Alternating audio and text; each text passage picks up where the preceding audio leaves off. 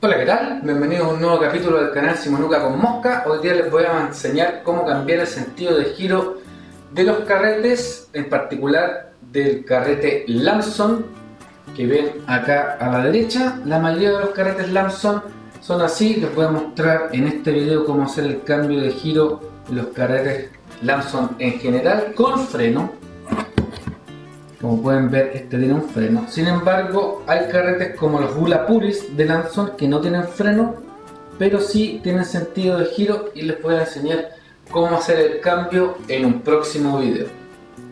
Pues bien, todos los carretes Lamson que tienen freno tienen cambio de sentido de giro y se cambian todos igual independiente del modelo porque todos comparten el mismo sistema de freno salvo algunos carretes de mar que el sistema de freno es similar pero es más potente o superior en el sentido de diámetros y tolerancia.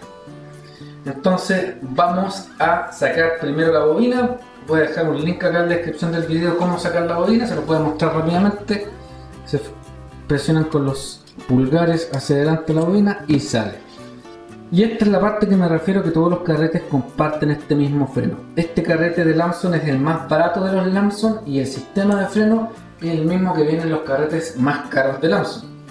Con la diferencia que en algunos carretes de mar esta parte o eje central es mucho más ancha y los conos que generan la fricción para el frenado son mucho más grandes también. Por lo tanto tienen más superficie y al tener más superficie la potencia de roce aumenta y así pueden frenar especies que en el mar pueden llegar a los varios kilos, por sobre los 50 kilos. Bien, aquí adentro, esto es un tornillo, aunque no lo parezca, está cerrado o con indentaciones porque aquí es donde se produce la chicharra del carrete. Les voy a mostrar aquí en la bobina, en alguna parte en todas las bobinas tiene una paletita que hace que al girar alrededor de esta pieza indentada que es plástica en todos los carretes Lamson, salvo algunos modelos con algunas excepciones, hace que esto suene. Pues bien, esto se suelta, se gira contra las manecillas del reloj, o sea, hacia el lado contrario en donde giran las manecillas del reloj, para soltarlo, ahí lo solté. Ese cric cric que escucharon es porque tiene un O-ring, en este caso este carrete yo todavía no le he hecho mantención, si hubiera sido mantenido por mí, ese ruido no hubiera sonado porque yo usualmente le echo aceite basado en, base a silicona y ese, ese O-ring va ahí alrededor para evitar que le entre algo a este freno. Todos los carretes de Lamson son con freno sellado, a no ser que esté sacada la bobina porque queda el hoyo ahí al medio. Y esta pieza tiene un O-ring por acá al exterior y un O-ring aquí al interior, que es donde se fija la bobina y también evita que ingrese el agua. Lo que ven aquí en rojo al centro es un rodamiento de giro forzado. Me refiero a que giro forzado porque hacia un lado gira y hacia el otro no. Si vuelco el carrete, eso sale.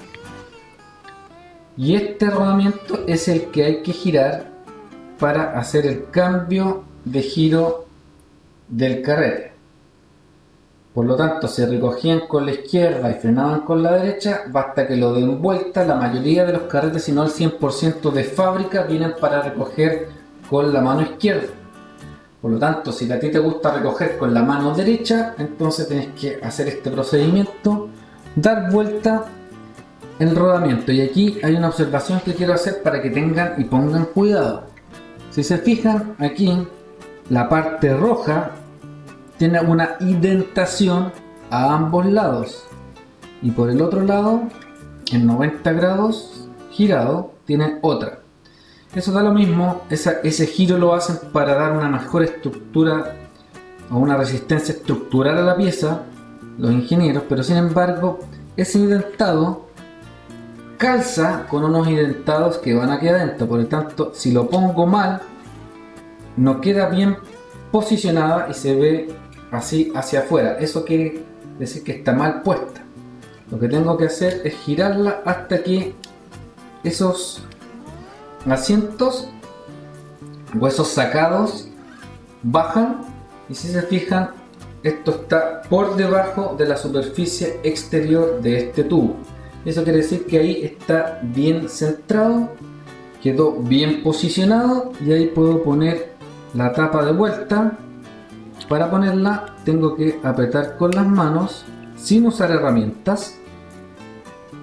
Cuando siento el O-ring lo voy a sentir y va a llegar un momento en que no puedo girar más y ahí le doy un toquecito más y con eso es suficiente pongo la bobina de vuelta y ahí queda frenado hacia el otro lado. Y lo pueden probar apretando el freno y girando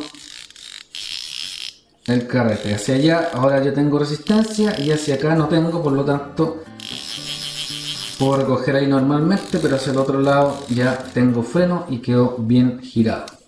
Lo voy a repetir para dejarlo corregido sacar la bobina presionando con los pulgares por aquí, soltar esta pieza plástica, tomar el rodamiento y girarlo, posicionarlo y con el dedo moverlo hasta que quede por debajo del borde del cilindro exterior y que quede plano, no puede quedar hacia un lado o hacia el otro tiene que quedar plano o paralelo en comparación con el borde del cilindro exterior. Y después colocar la tapita hasta que no gire más. Y cuando no gira más le damos un toquecito nomás. Y ahí quedamos con nuestro garrete de vuelta como debe ser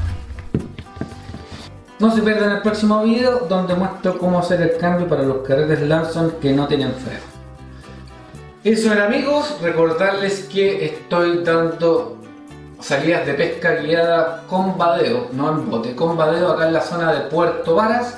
Si estás interesado, métete aquí a www.simonucaconmosca.cl Ahí puedes ver las cosas que ofrezco y puedes hacer una reserva para salir a pescar acá en la zona de Puerto Varas los días sábados, lo voy a estar haciendo sábado por medio, hay un calendario ahí, si están rojos que ya está tomado, si es fuera de temporada va a estar en rojo y así pueden ver todas las condiciones ahí en la página web. Si les gustó este video denle like, compártelo con sus amigos, no olviden de suscribirse al canal y como siempre nos veremos en una próxima oportunidad.